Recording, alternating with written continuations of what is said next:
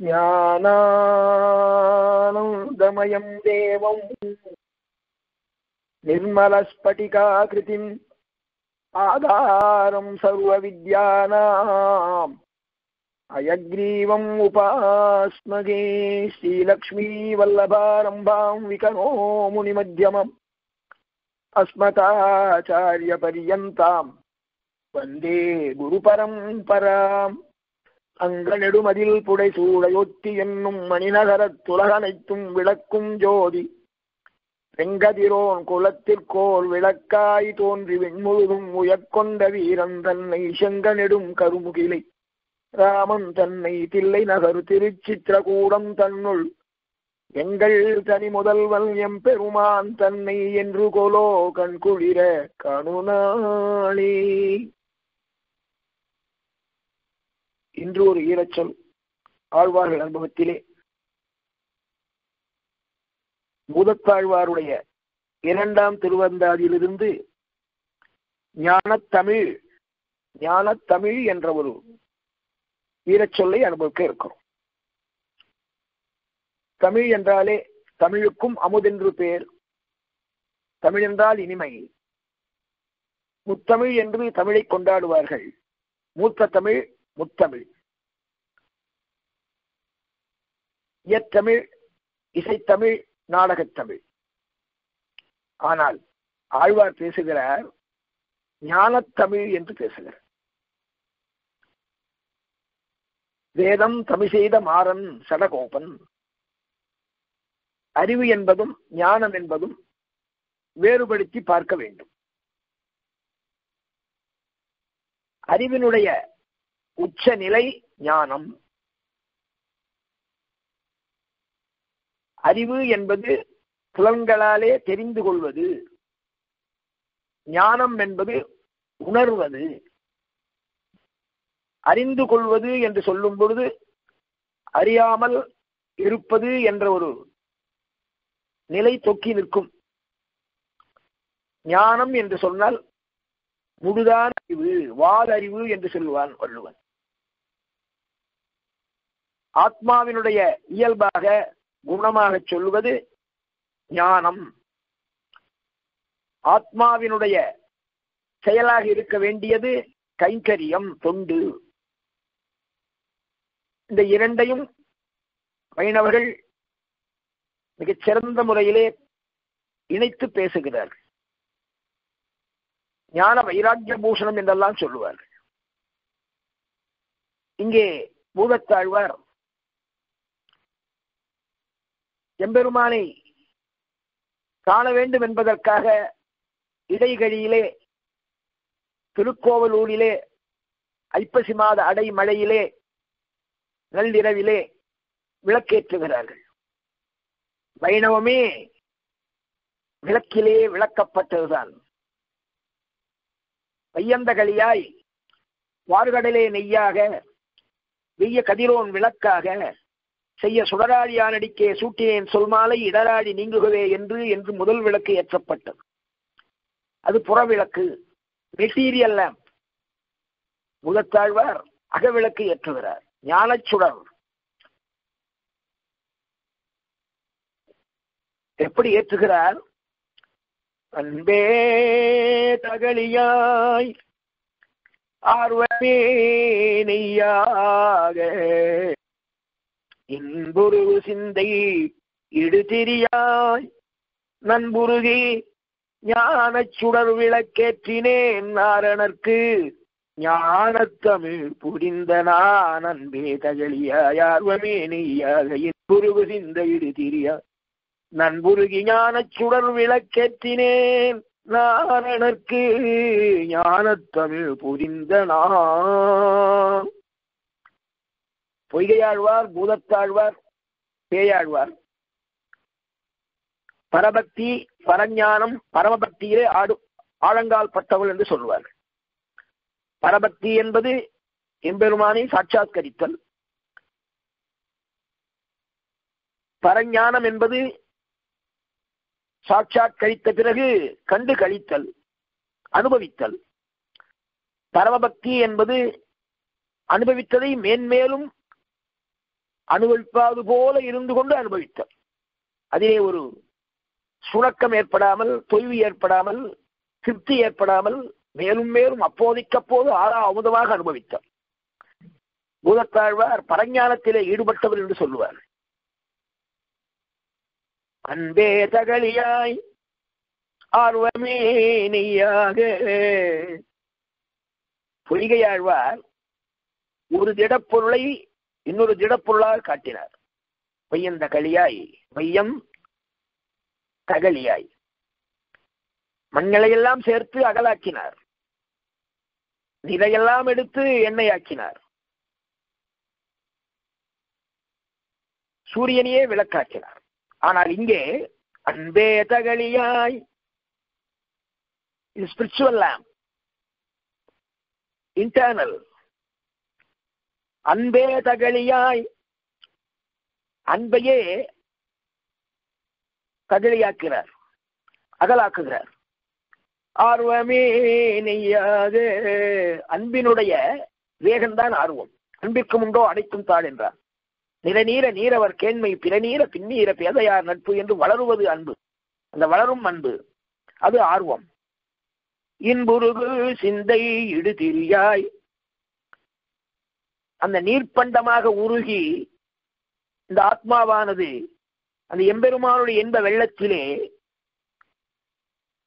திரியாக மாறி அது ஒளிர்கிறதாம். எப்படி ஒளிர்கிறது? ஞான சுடர் விளக்கேற்றினே நாரணர்க்கு ஞானத்தமிழ் புரிந்த நான் ஞானத்தமிழாலே ஞான சுடர் விளக்கு. Chip off the same block chip off the old பிளாக்லாம் சொல்லுவார் ஞான தமிழ் அது ஞான சுடர். இப்படி இன்புருகு சிந்தை இடுதிரியாய் அன்பே அகலாக ஆர்வமே நெய்யாக ஞானச்சுடர் விளக்கேற்றினார் ஊதுத்தார்வர் அப்படி ஏற்றிய உடனே இந்த சிந்தை இடுதிரியா என்பதை மீண்டும் அவர் தன்னுடைய இரண்டாம் திருவந்தாதியிலே நடுவிலே பேசுகிறார். மகிழ்ந்தது சிந்தை திருமாலே மற்றும் மகிழ்ந்தது உன் பாதம் போற்றி. மகிழ்ந்தது சிந்தை திருமாலே மற்றும் மகிழ்ந்தது உன் பாதமே போற்றி.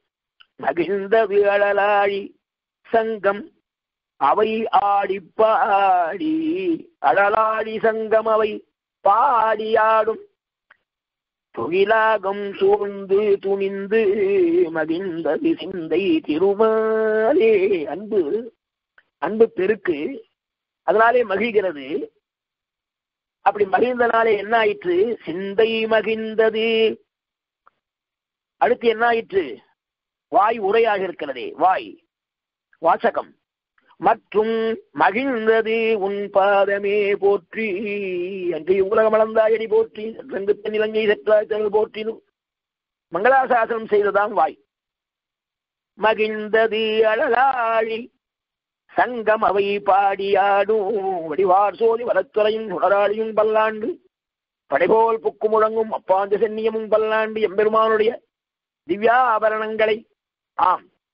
அது திவ்ய ஆயுதங்களாகவும் இருக்கும் திவ்ய ஆபரணங்களாகவும் இருக்கும். அடியாருக்கு ஆபரணங்கள் எதிரிகளுக்கு அது ஆயுதங்கள். அழலாடி சங்கம் அவை பாடியாடும் துவிலாகம் சூழ்ந்து துணிந்து. என்ன தொழில்? எமக்கு தொழில் கவிதை என்றான் பாரதி. இங்கே எம்பெருமான் எம்பெருமானுடைய நாம ரூப வைபவ இதை பாடுவதுதானே தொழில்?